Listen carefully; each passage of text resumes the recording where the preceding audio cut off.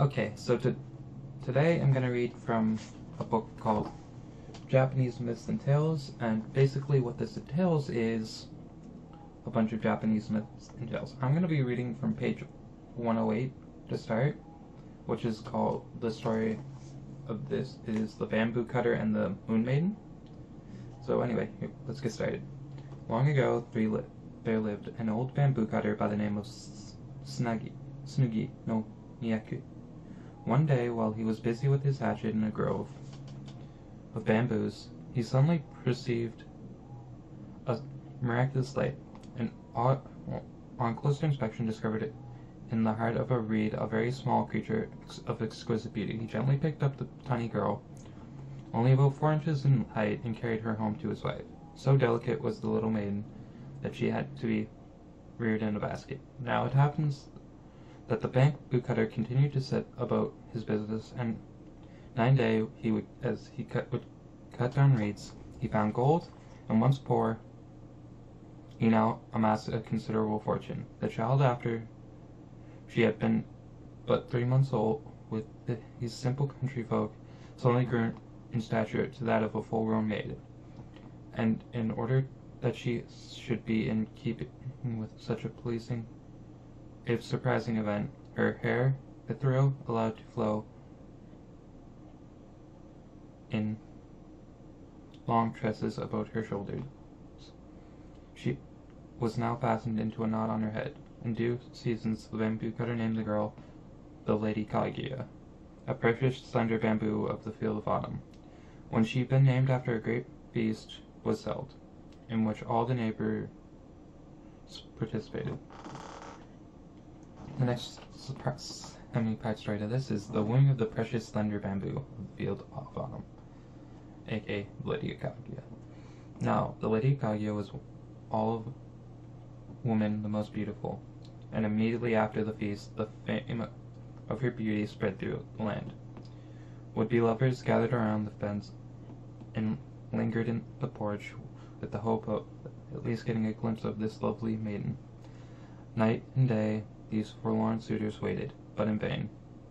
Those who were of humble origin gradually began to recognize that their lovemaking was useless. But five wealthy suitors still persisted, and would not relax their efforts. They were Prince Ishikuri and Prince Kuromachi, the Ajin Dinegon, Abe no Mishi, the Shingon Otomo no Miyuki, and Murata, uh, the Lord of. These ardent lovers bore the ice and snow of winter and the thunderous heat of midsummer with equal fortitude. When these lords finally asked the bamboo cutter to bestow his daughter upon one of them, the old man politely explained the maiden was not the, his really his daughter, and as the, was so she could not be compelled to obey his own wishes in the matter. At the, at last the lords returned to their mansions, but still continued to make their applications more persistent than ever. E even the kindly bamboo cutter began to remonstrate with the Lady Kaguya and to point out that it was becoming for some handsome a maid to marry, and that among the five noble suitors she could surely make a very good match. To this the wise Kaguya replied, No, so fair am I that I may be certain of a man's faith and were I to mate with one of those heart-proved, fickle, the miserable fate were mine. Noble lords, without doubt, are these of whom thou speakest. But I would not wed a man whose heart should be all untried and unknown. It was finally arranged that Kaguya should marry the suitor who proved himself the most worthy. this news brought monetary hope to the five great lords, and when night came to they assembled before the house where the maiden dwelt. With flute music and the singing, with chanting to accompaniments and piping, with cadence, tap, and clap of fan, only the bamboo cutter went out to thank the lords for their serenading. When he had come into the house again, Kaguya thus set forth her plan to test the stews. In Tenjiku, the North India, is a beggar bowl of stone which of old the Buddha himself bore. In quest whereof let Prince Ishikuri depart and bring me the same. on mountain, the mountain Harai, the towers over the eastern ocean, grow a tree with roots of silver and trunk of gold, and fruitage of pure white jade. And I bid Prince Karamanchi fare er, thither and break off and bring me a branch thereof. Again, in the land of Marshki, men fashion fur robes of the pelt of the flame-proof red, and I pray the Dinigan to find me one such.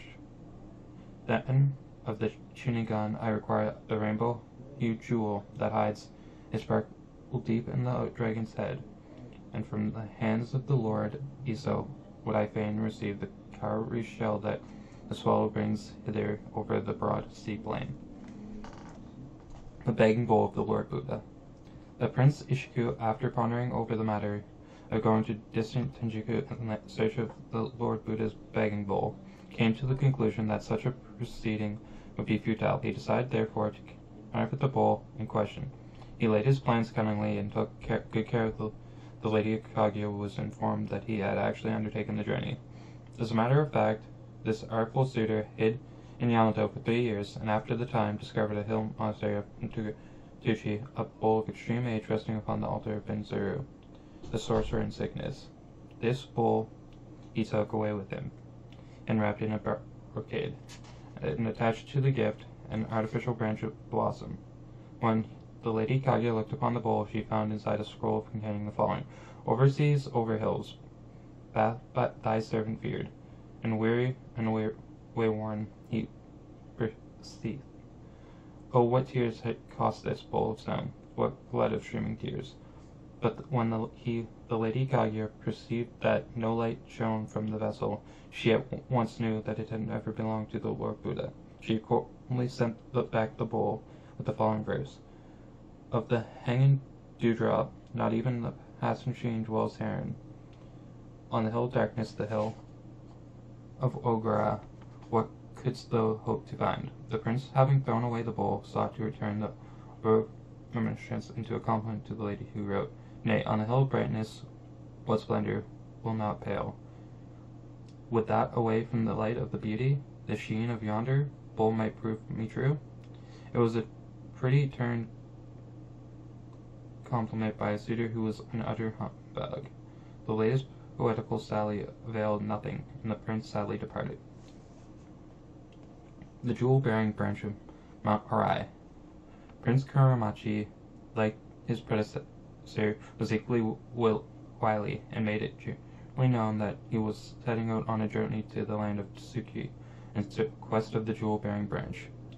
What he actually did was to employ six men of the Ichimaro family, celebrated craftsmen, and secure them a uh, dwelling hiding from the haunts of men, where he himself abode for the purpose of instructing craftsmen, as to how they were to make a jewel-bearing branch, identical with the one described by the Lady Kaguya. When the jewel-bearing branch was finished, he set out to wait upon the Lady Kaguya, who read the following verse attached to the gift. Though it were at the peril of my very life, without the jewel land branch in my hands, never again would I have dared to return. The Lady Kaguya looked sadly upon this glittering branch and listened without interest. To the prince's purely imaginative story of his adventures, the prince dwelled upon the terrors of the sea, of strange monsters, of acute hunger, of disease, which were the trials upon the ocean. And when this incredibly incredible storyteller went on to describe how they came to a high mountain rising out of the sea, where they were greeted by a woman bearing a silver vessel, which she filled with water. On the mountain were wonderful flowers and trees, and a stream of rainbow-hued, yellow as gold, white as silver, blue as precious ruby, lapis lazuli, and the stream was spanned by bridges, built up of divers gems, and a grew trees lined with dazzled jewels dazzling jewels, and from one of these I broke off the branch, which I venture now to offer to the Lady Kaguya.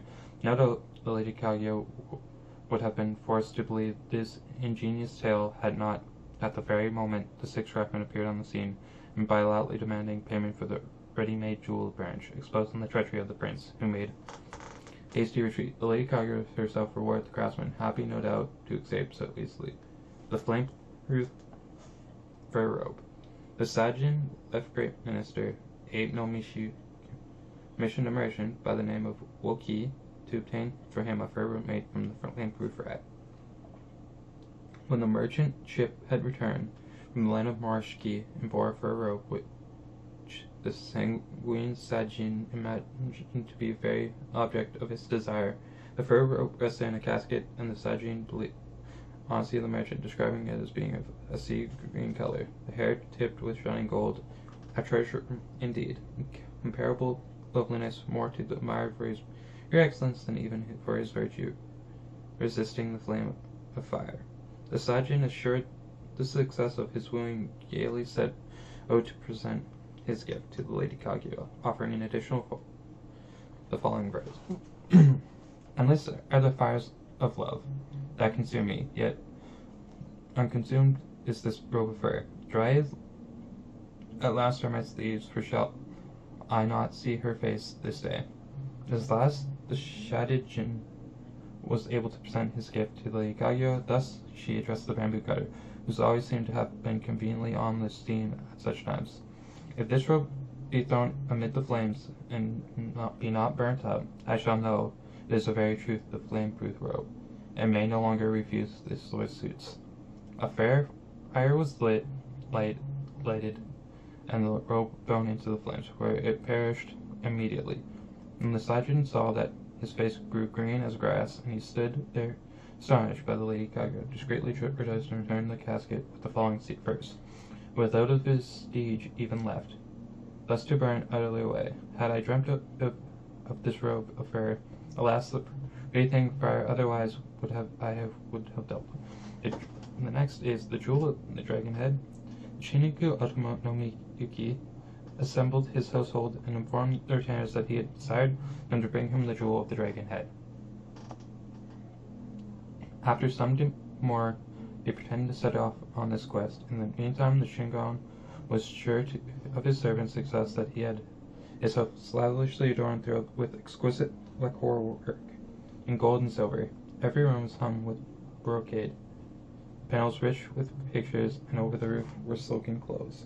Weary of waiting, the Shingon, after a time journey to Ninwa, and questioned the inhabitants if any of his servants had taken a boat in quest of the dragon. The Shingon learns that none of his men had come to Ninwa, and considerably displeased at the news, he himself embarked with his with helmsman. Now it happened that the Thunder God was angry as he ran high. After many days, the storm grew so severe and the boat was so near sinking that the helmsman ventured to remark, The howling of the wind, and the raging of the waves, and the mighty roar of the thunder are signs of the wrath of the god whom my lord offends, who would slay the dragon of the deep, for the through the dragon is storm raised, and well it was for my lord to offer a prayer. As the Shugen had been seized with a terrible sickness, it is not surprising to find that he had readily took the helmsman's advice. He prayed no less than a thousand times, enlarging on his folly, and attempted to slay the dragon, and solemnly vowed that he would leave the ruler of the deep in peace. The thunder ceased and the clouds disappeared, but the wind was as fierce as strong as ever. Helmsman, however, told his master that it was a fair wind and blew towards their own land. At last he reached the strand of Akashi and Harama, but the Shingon, still ill and lightly frightened, vowed that they had been driven upon a savage shore, and lay full length in the boat, bending heavily and refusing to rise when the governor of the district presented himself. When the Shingon at last realized that it had not been blown upon some savage shore, he consented to land. No wonder, the governor smiled, when he saw the wretched appearance of the discomfited lord, chilled to the very bone, with swollen belly and eyes lustrous and as, as slows. At the length of the Shingon was carried in a litter to his own home. When he had arrived, his cunning servants humbly told their master how they had failed in the quest. Thus the Shingon greeted them.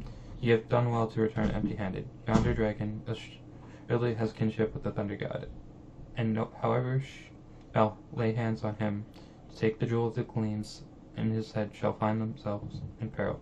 Myself am sore spent with toil and hardship, and no guerdon have I won. A thief of men's souls and a destroyer of their bodies is the Lady Kaguya, nor ever will I seek her abode again, nor even bend ye this word. When the women of his household heard of their lord's adventure, they laughed till their sides were sore. While the silken clothes he had caused to be drawn over the roof of his mansion were carried away, thread by thread, by the crows to line their nests with the royal line. Now for the the fame of the Lady Kaguya's beauty reached the court, and the Mikado, uh, anxious to gaze upon her, said one of his palace ladies, Saga, to go and see the bamboo cutter's daughter, and to report to his majesty of her excellence. However, when Saga reached the bamboo cutter house, the Lady Kaguya refused to see her, so the palace lady returned to the court and reported the matter to Mikado. His majesty, not a little displeased, sent for the bamboo cutter, and made him bring the Lady Kaguya to court, that he might see her riding. A hat of nobility, perchance, shall be her father's reward. The old bamboo cutter was in mortal soul and mildly discontented with his daughter's extraordinary behavior. Although he loved court favors and probably hankered after so distinguished a hat, it must be said of him that he was the first of all true to his duty as a father. When on returning to his home, he discussed the matter with the Lady Kaguya. She informed the old man that if she were compelled to go to court, it would certainly cause her death, aiding the price of my father's hat of nobility will be the destruction of her, his child. The bamboo cutter was deeply affected by these words, and once more set out on a journey to the court, where he humbly made known his daughter's decision to Mikado. Not to be denied even by an extraordinary beautiful woman, hit on the ingenious plan of ordering a royal hunt, so arranged that he might unexpectedly arrive at the bamboo cutter's dwelling and perchance see the lady who could set a defiance of desires of an emperor. On the day appointed by the royal hunt, therefore, the Mikado entered the bamboo cutter's house. He had no sooner done so that he was surprised to see, in the room in which he stood, a wonderful light, and the light none other than the Lady Kaguya. His Majesty advanced and touched the main sleeve, whereupon she hid her face, but not before the Mikado had caught a glimpse of her beauty. Amazed by her extreme loveliness, and taking no notice of her protest, he ordered a place palace litter to be brought, but on its arrival Lady Kaguya suddenly vanished. The emperor, perceiving that he was dealing with no mortal maid, exclaimed, It shall be thou, dearest maiden, but 'tis prayed that thou resume thy form, that once more thy beauty may be seen. So Lady Kaguya resumed her fair form again. As his majesty was about to be borne away, he composed the following verse. Mournful the return of the royal hunt, and full of sorrow the brooding heart. For she resists and stays behind the Lady Kaguya. The Lady Kaguya thus made answer. Under the roof of Ogre ground, with hope lying, long were the years she passed. How many she dared to look upon the piles of precious jade, the celestial robes of feathers. In the third year after the royal hunt, and in the springtime, the Lady Kaguya continually gazed at the moon. On the seventh month, when the moon was full, the Lady Kaguya's sorrow increased, so that her weeping distressed the maidens who served her. At last they came to the bamboo cutter and said, Long has the Lady Kaguya watched the moon waxing uncannily, with the waxing thereof, and her woe now passes all measure, and sorely she weeps and wails. Wherever or we console thee to speak with her. When the men cutter communed with his daughter, he requested that she shall tell him the cause of her sorrow, and was informed that she sight of the moon caused her to reflect upon the wretchedness of the world. During the eighth month the Lady Kaguya explained to her maids that she was no ordinary mortal, but that her birthplace was the capital of Moonland, and that the time was now at hand when she was destined to leave the world and return to her old home.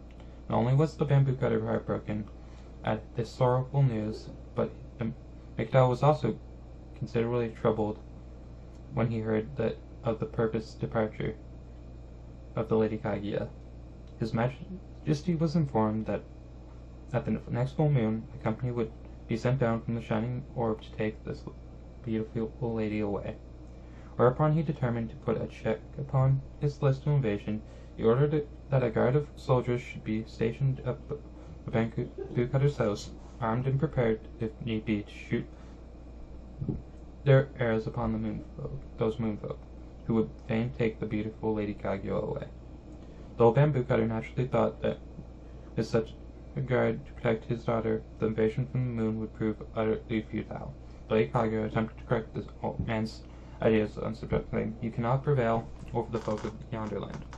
Nor will your artillery harm them, nor your defences avail against them. For every door will fly open at their approach. Nor may your valor help, for be you never so stout-hearted, and the moon will come in vain will be your struggle. With them, these remarks made the bamboo cutter exceedingly angry. He asserted that his nails would turn into talons. In short, that he would completely annihilate such abundant visitors from the moon. Now, while the royal guard were stationed about the bamboo cutter's house, on the roof in every direction, the night wore away. At the hour of the Rata great glory, exceeding the splendor of the moon and stars, shone around. While the light still continued, a strange cloud approached, bearing upon it a company of moonfolk. The cloud slowly descended until it came near the, the ground, and the moonfolk assembled themselves in order.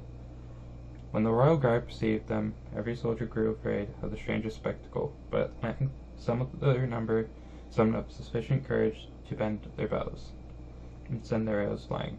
But all their shafts went astray. On the cloud there rested a canopy car, there splendid with curtains of finest woolen fabric. From the car a mighty voice sounded, saying, Come thou forth, Miyaku Maro. The bamboo cutter tottered forth to obey the summons, and received horror's pains an address from the chief of the moonfolk, and sing with Thou fool, and ended up with a comment that the Lady Kaguya should be given up without further delay. The car floated upward upon the cloud till it hovered over the roof. Once again the same mighty voice shouted, Ho oh, there, Kaguya, how long one thou tarry in this sorry place? Immediately the outer door of the storehouse and the inner lattice work were opened by the power of the moonfolk, and revealed that Lady Kaguya and her woman gathered butter. The Lady Kaguya, before taking her departure, greeted the prostrate bamboo cutter and gave him a scroll bearing these words: Had I been born in this land, I never should have I quitted until the time came for my father to suffer no sorrow for this his child. But now, on the contrary, I must pass beyond the boundaries of this world, though sorrowly, against my will, my silken mantle I leave behind me as a memorial, and when the moon lights up the night, let me my father gaze upon it. Now my eyes must take their last look and must mount to yonder sky. Once I fain uh, would fall, meteor wise to earth. Now the moonfolk have brought with them in a coffer a celestial feather robe, a few drops of the elixir of life. Mom said to the Lady Kaguya, Taste, I pray you, of the elixir, if her soul has your spirit become with the grossness of this filthy world. Lady Kaguya, after tasting the elixir, was about to wrap up some in the mantle she was leaving behind for the the bamboo cutter, who had loved her so well, when one of the moonfolk prevented her, and attempted to throw her over the shoulders the celestial robe. When the Lady Kaguya exclaimed, Have patience yet a while. Who dons yonder robe changes his heart, and I was still somewhat to say ere I depart. Then she proceeded to write the following to the Mikado. Your Majesty deigned his send a host to protect your servant. But it was not to be, and now is the misery of at hand, of the parting with those who have come to bear her away with them. No permitted was it to her serve your majesty, and despite her will was it that she yielded not obedience to the royal command, and wrung with grief in is her heart thereafter. And perchance your majesty may have thought the royal will was not understood was opposed by her. And so will she appear to your majesty lacking good manners which you would not your majesty deemed her to be. And therefore humbly she laid this writing at the royal's feet. And now must she don the feather robe, and mournfully bid her lord farewell. Having delivered the scroll into the hands of the captain of the host, together with a bamboo joint containing the elixir, the feather robe, was thrown over her, and in a moment of all memory of her earthly existence departed.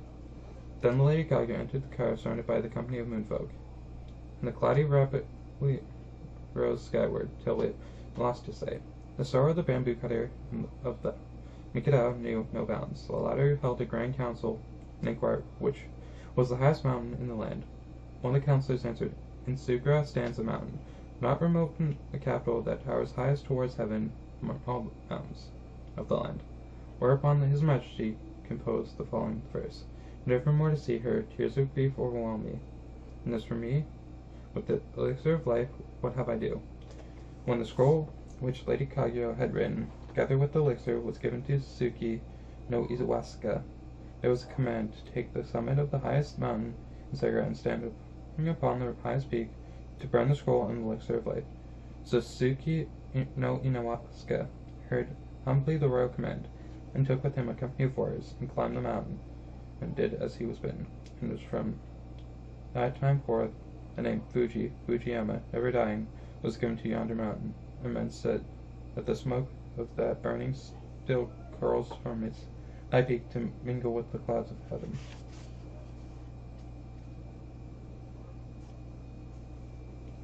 That's the end of that story.